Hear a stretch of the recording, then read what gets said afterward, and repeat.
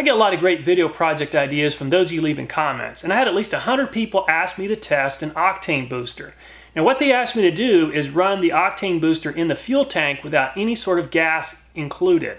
So the objective is to determine if octane booster in and of itself will power up an engine, and if it does, what will happen to the engine. Will it cause carbon buildup? Is it going to somehow cause the engine to overheat? Is the engine going to have as much power or is it going to have more power? So there are a lot of questions that remain unanswered. So today we're going to try to answer those questions. And the product I've chosen is Royal Purple Max Boost. Royal Purple makes some great products, and I'm not in any way sponsored by Royal Purple, but over the years I've used their products, and a lot of people highly recommend their products. So I want to try a reputable additive and a reputable octane booster for today's video. And uh, we'll be testing this in both the see-through engine as well as the engine in front of me. So let's get this project underway.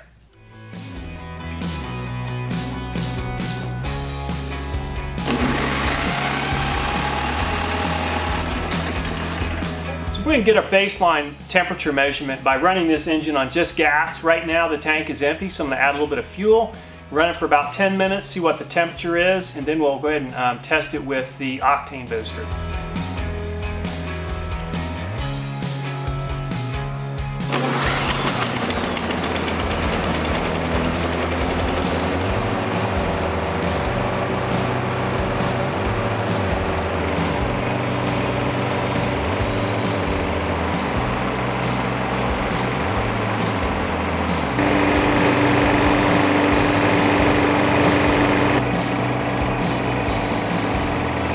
So I have the MSDS from Royal Purple Synthetic Company and this is for the Max Boost product. The main additive in this is it's over 90% kerosene, petroleum, hydrosulfurized, heavy aromatic solvent naphtha. Additionally, it does contain some other additive, I can't pronounce it, less than 2%. And finally, it contains less than 5% naphthalene. So uh, it does contain what the old version of mothballs, the original version of mothballs, uh, which contain naphthalene, it does contain that in it, so I found this very interesting. So there's obviously some truth to the fact that mothballs is an octane booster. So now we're going to go ahead and test this additive out inside the engine. I'm going to add 8 ounces to an engine. I'm going to go ahead and open this can up.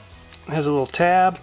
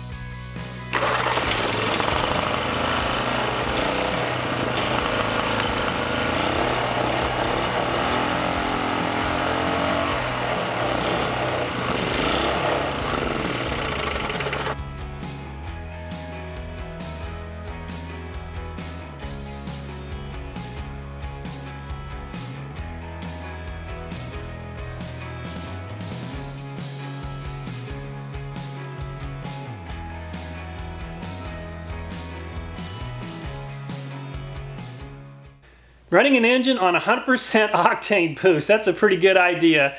I just want to say thank you to the 100 plus people that made that recommendation. I really enjoyed this project. It was pretty neat to also see it running through that clear cylinder head engine to see it actually work. But uh, I was really surprised to see all this orange buildup inside the engine. With that said though, I don't think that's a big deal. I think this orange buildup will easily come off either through wiping it down or running a tank of gasoline. Definitely Marvel. Oil or Seafoam would do a great job of cleaning that up. But uh, I get a lot of great ideas from you guys. I hope you'll offer me some more ideas on video projects. Anyway, um, after each one of these videos, of, after publishing, I always read your comments. So please post a comment. Give me a chance to um, hear your thoughts and ideas about this video and other ideas that you have. I hope you'll like, I hope you'll subscribe, and I hope you'll comment. Anyway, thanks for watching the video, and I look forward to seeing you next time.